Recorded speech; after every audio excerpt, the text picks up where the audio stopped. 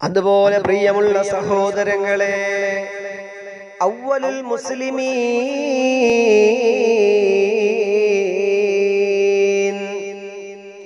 ആദ്യമായി പരിശുദ്ധ ദീനുൽ ഇസ്ലാം കൊണ്ട് വിശ്വസിച്ചതും ഹബീബായ നബി മുഹമ്മദ് മുസ്തഫ റസൂലുള്ളാഹി സല്ലല്ലാഹു അലൈഹി വസല്ലമ തങ്ങളാണ് അവിടെയും നമുക്ക് സംശയമുണ്ടായേക്കാം. അവസാന പ്രവാചകരാണല്ലോ മുഹമ്മദ് നബി.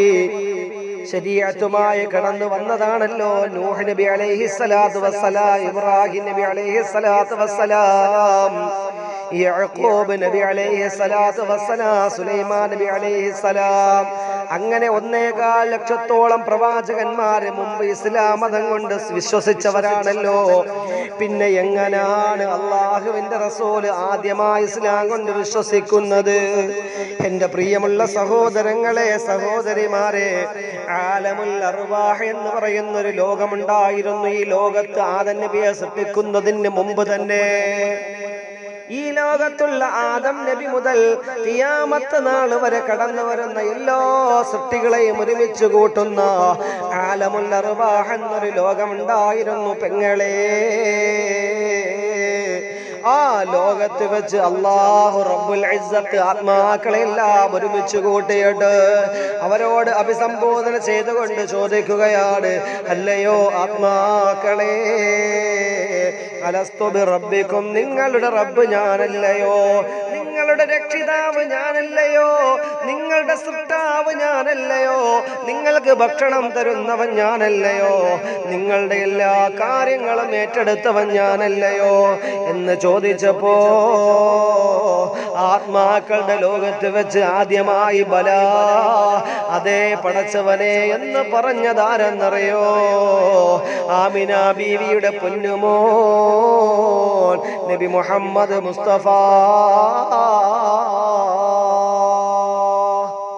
റസൂലുള്ളാഹി സ്വല്ലല്ലാഹു അലൈഹി വസല്ലമ തങ്ങളാണ്.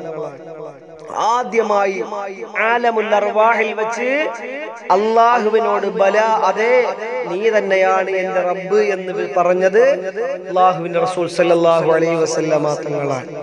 പ്രിയമുള്ള സഹോദരങ്ങളെ അതുപോലെ തന്നെ അതുപോലെ തന്നെ ഈ ലോകമെല്ലാം അവസാനിക്കുന്ന ഒരു ദിവസം നമ്മുടെ മുന്നിലേക്ക് കടന്നു വരാനുണ്ട്. അതിന് കിയാമത്ത് നാളെന്നാണ് പറയുന്നത്.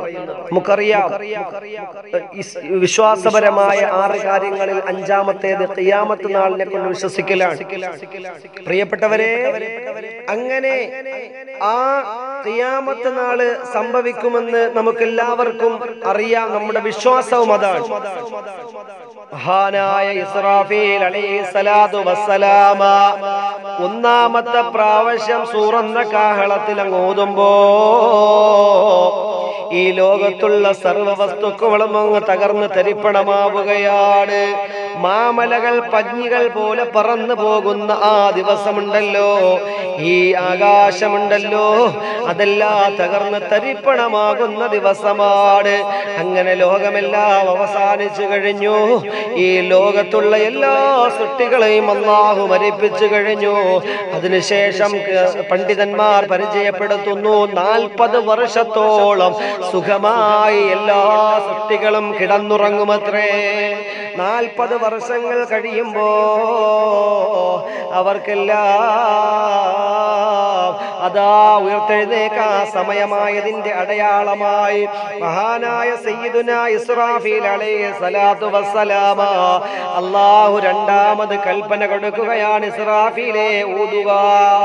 അങ്ങനെ അള്ളാഹുവിന്റെ കൽപ്പന പ്രകാരം സൂറന്ന കാഹളത്തിൽ മഹാനായ ഇസ്രാഫീൽ അലൈഹി സലാത്തു വസ്സലാമ രണ്ടാമത് ഊതുമ്പോ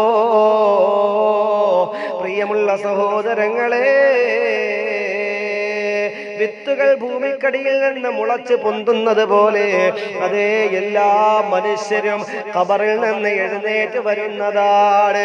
അവർ ചോദിക്കും അത്രേ വിശുദ്ധമായ ഖുർആൻ പരിചയപ്പെടുത്തിയതാണ്. കാലോ യാ വൈലനാ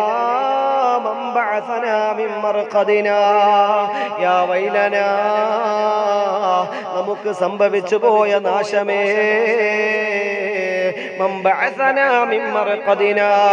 ഞങ്ങൾ സുഖമായി ഉറങ്ങിയപ്പോ ആ സുഖനിദ്രയിൽ നിന്ന് ഞങ്ങളെ വിളിച്ചുണർത്തിയതാരാ?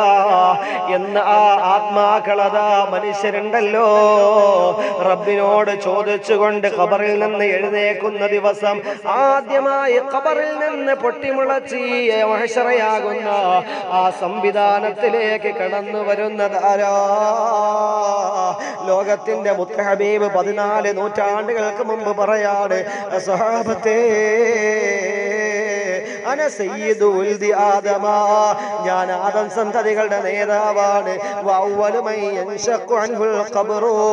അതേ ഖിയാമത്ത് നാൾ സൂറന്ന ഇസ്രാഫീൽ എന്ന മലക്ക് സൂറന്ന കാഹളത്തിൽ രണ്ടാമത്തെ പ്രാവശ്യം ഓതുമ്പോ ആ ഖബറിൽ നിന്ന് ആദ്യമായി എഴുന്നേൽക്കുന്നത് ഞാനാ. മാത്രമല്ല മുത്തായ തങ്ങൾ പറയുന്നു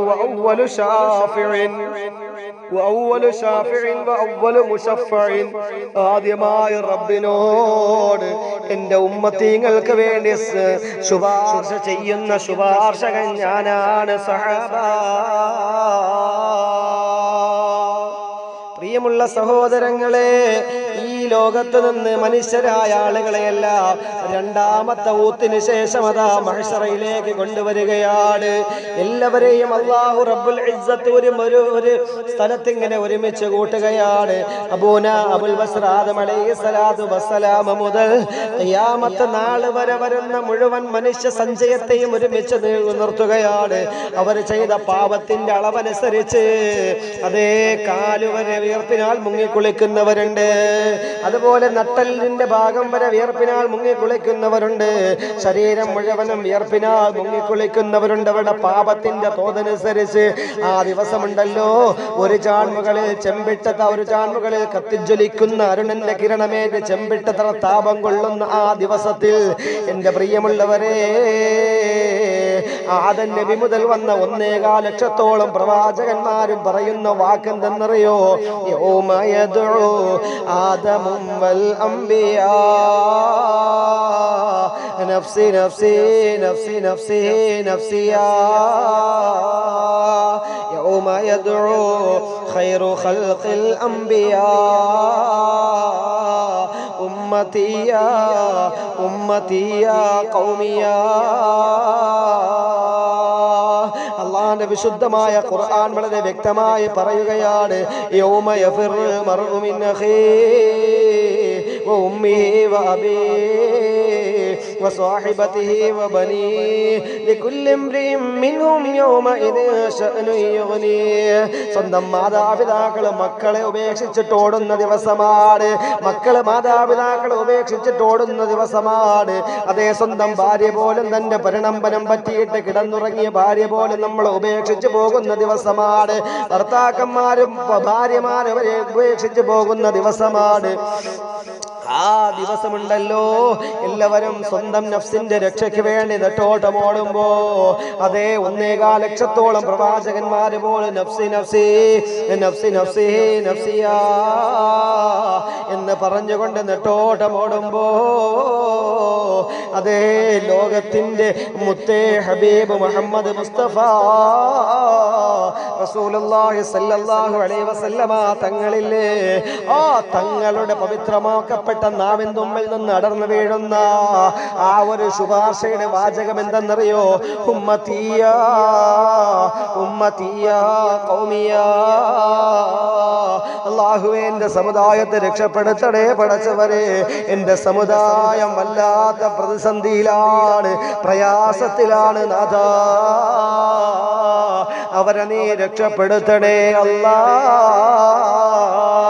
എന്ന് അള്ളാഹു റബ്ബുൽ ഇസ്സത്തിനോട് മാലിക്കുൽ മുലൂക്കായ ആ മഹ്ഷറയുടെ രാജാതി അധിപനായ അള്ളാഹു റബ്ബുൽ ഇസ്സത്തിനോട് ആദ്യമായി ശുപാർശ ചെയ്യുന്നതും ആ ശുപാർശ അള്ളാഹു സ്വീകരിക്കുന്നതും ആരുടേതാണ്?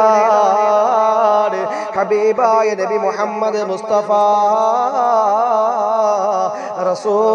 റസൂലുള്ളാഹ് الشفاعة هب لنا في القيامة مشفقا. واهلنا إن ضاع يا خير النبي. سيدي خير النبي. الصلاة على النبي والسلام على الرسول. الشفيع الأبطحي والحبيب العربي والحبيب العربي. الله رب العزة. മുത്തുനബിയുടെ ആ തിരുശഫാഅത്തിൽ ചേരാൻ അള്ളാഹു നമുക്ക് ഏവർക്കും തൗഫീഖ് നൽകി അനുഗ്രഹിക്കുമാറാകട്ടെ. അപ്പോൾ ആദ്യമായി നാളെ മഹ്സറയിൽ വെച്ച് പടച്ചവനോട് ശുപാർശ ചെയ്യുന്നതും റബ്ബ് ആ ശുപാർശ ആദ്യമായി സ്വീകരിക്കുന്നതും മുത്തുനബിയുടേതാണ്. അള്ളാഹു പഠിക്കാനുള്ള തൗഫീഖ് നൽകി അനുഗ്രഹിക്കുമാറാകട്ടെ.